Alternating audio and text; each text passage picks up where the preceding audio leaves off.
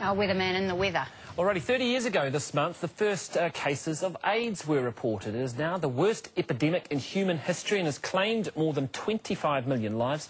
This week, the UN met to figure out where next in the fight against AIDS. And with rates climbing here, uh, that's in New Zealand, uh, there's a very, uh, that's a very timely question. With us is the Executive Director of the AIDS Foundation, Shaun Robinson. Good morning, Shaun. Good morning. Rates climbing here, that, wouldn't, that seems counterintuitive given that we've got all these new drugs and that I would have thought things are under control. Uh, well, the new drugs have actually created a new environment for, for AIDS to, to have a second phase to the epidemic in New Zealand. Um, and a lot of it is, is purely maths. As you have more people living with HIV, and that's a great thing that people no longer die uh, of AIDS, but as you have more people living with HIV, there's just simply more chance that, that it will be passed on to, to new people. So uh, since around about uh, year 2000, we've seen a, a steady climb, particularly for gay and bisexual men, because that's really where the epidemic is in New Zealand. Have people become complacent about it because of the drugs?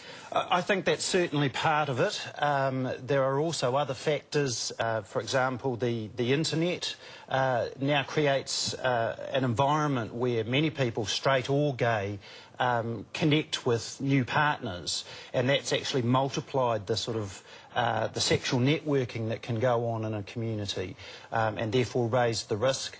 Um, part of complacency also is that after 30 years we have a generation of younger gay and bisexual men who, who weren't around for the horrors of, of the early part of the AIDS epidemic when, when most of their friends were dying. So um, th there's complacency, there's lack of knowledge, and there's just the simple uh, mathematics of, of how epidemics work. So what's the strategy now? Well, we, we, in New Zealand, we've actually done incredibly well at control of HIV and AIDS, probably one of the best countries in the world.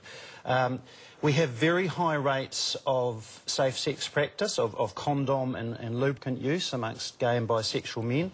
It's up around 70%, and most countries would, would give their eye teeth for that.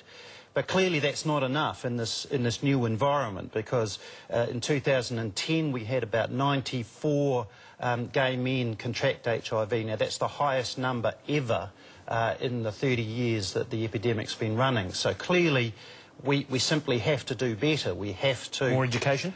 More education, um, but, but more fundamentally, we're trying to create a condom-friendly culture. And this really applies to the whole of New Zealand, but we're particularly targeting um, gay and bisexual men. That, that use of condoms becomes the norm, that it's no longer okay to expect or ask a partner to have unsafe sex, and that condoms just become um, part of the landscape. All right, this is a, that's the Western problem. But what about in third world countries, Africa in particular, where it, it's a, it, it is far more fatal, isn't it? Um, well, more and more third world countries are getting access to treatments, which means that HIV doesn't turn into AIDS, and that's one of the progresses that, that we have made internationally and that the UN has been part of pushing. Um, the HIV AIDS epidemic is, is quite different in different countries. So, for example, we have no problem in New Zealand with intravenous drug use. We've managed to wipe that out completely. Needle exchanges, all that Through needle exchanges, whereas in, in Russia, for example, that's driving the epidemic in, in Africa and other poorer countries, it, it is a lot about poverty. It's about a lower level of health care to start with. Uh, it's also about different cultural norms. Uh, it's about the oppression of, of women and children um, and uh, a, a much bigger sex industry. So there's a whole lot of different conditions that drive the epidemic in different places. Shaun Robinson from the New Zealand AIDS uh, Foundation, thank you very much. Thank you.